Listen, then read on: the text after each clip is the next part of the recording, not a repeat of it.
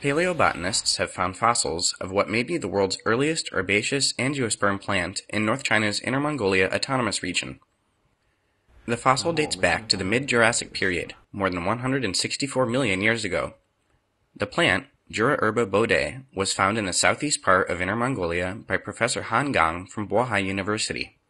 The fossil, standing at just 4 centimeters tall, has a well-preserved root, stem, leaves, and fruit. 是未成年造成的，而是其成体就只有这么高。 The occurrence of fructification implies that the plant was already mature.